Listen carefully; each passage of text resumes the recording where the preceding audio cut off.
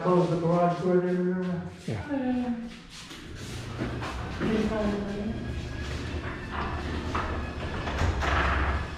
Does it have a sensor when something is there? Does.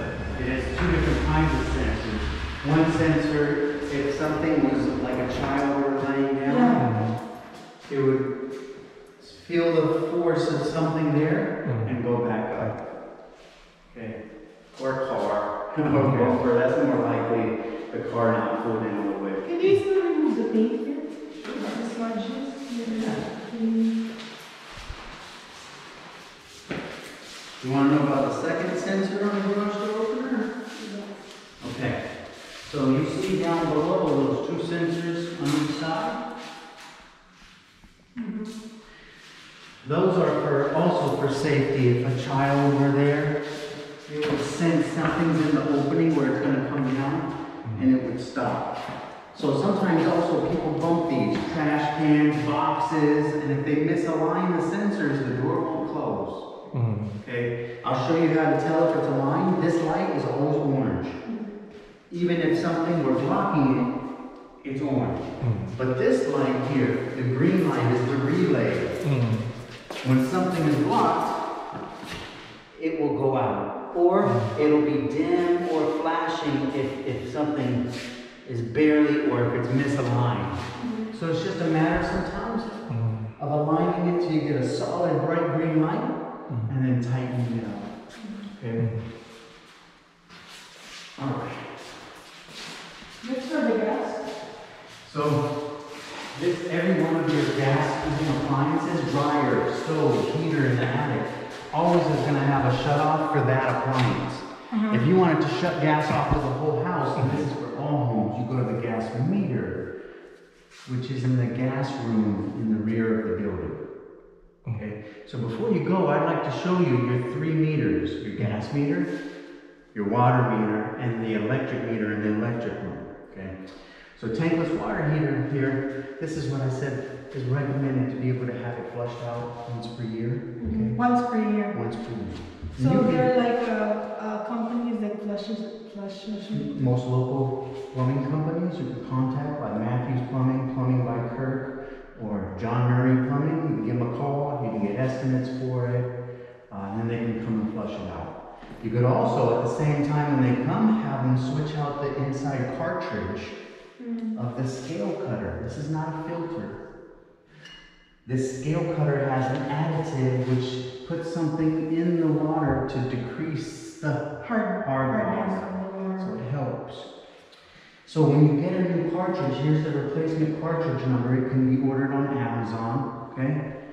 The inside of the cartridge is what has changed. And visually, because the housing is clear, you can see when it's full, and you can see when it starts to deplete over time. Usually a family of five might have to be changed every year also. So if you order it in advance, like at the six month mark or so, and when the plumber does it, you can just ask him to change it out, swap it out for you at the same time. So everything has to be turned off.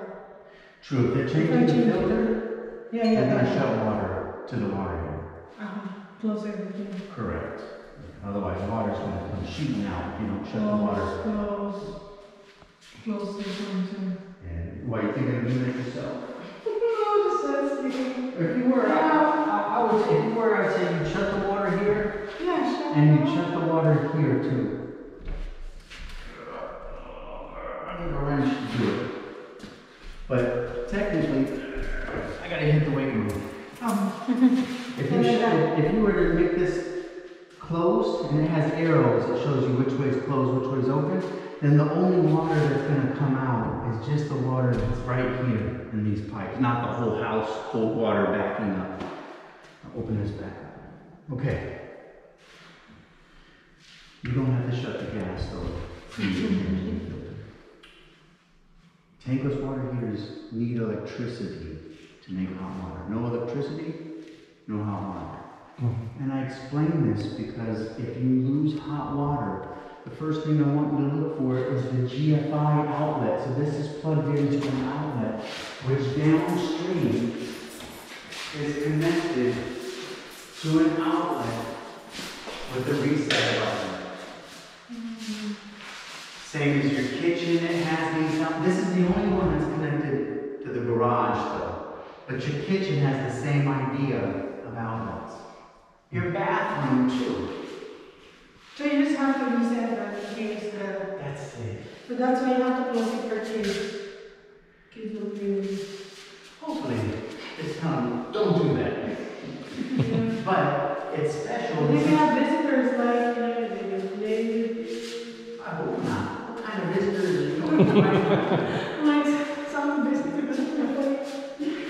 So, remember, you lose hot water, look for the little red light, make it go away, and keep in mind that your bathroom, all three bathrooms share one of these. Mm-hmm. So if you lose bathroom, you lose power in a bathroom, but you don't see any push button reset, go find the other bathroom that has it, the little red light's likely on, and reset it. Mm-hmm. Okay. So you heard the water heater, go ahead and move back up. Good, so we talked, we talked about the water heater. Let's talk about the most important thing inside the garage.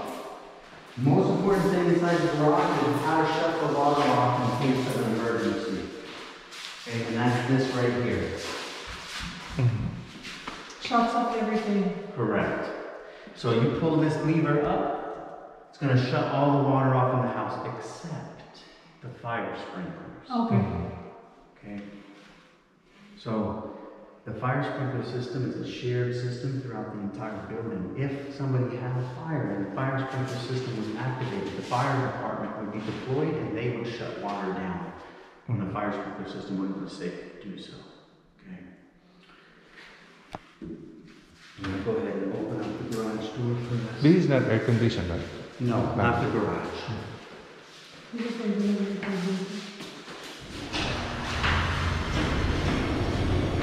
Hindi ka rin pwede ng barbecue dito.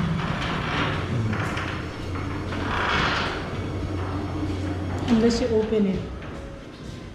No? Para lumabas. Yeah. So your garage door opener has a battery backup. That's good. If Edison has a um, power blackout, Mm-hmm. and you come home and didn't know it, when you press your garage door opener, it's gonna open. It's gonna open half the speed if it's on the backup battery, but it'll open. Mm-hmm. If the backup battery is drained, because maybe the power was out for a while, this is the way to release it. Pull the red cord. Everybody got that there? Did you know that? Mm-hmm. Okay, I can't tell you how many people freak out and text me in a power outage. I gotta go to work, how do I leave? And I can't respond to them in time. You Pull this, you can open and close it manually to be able to go. Oh, okay. Okay?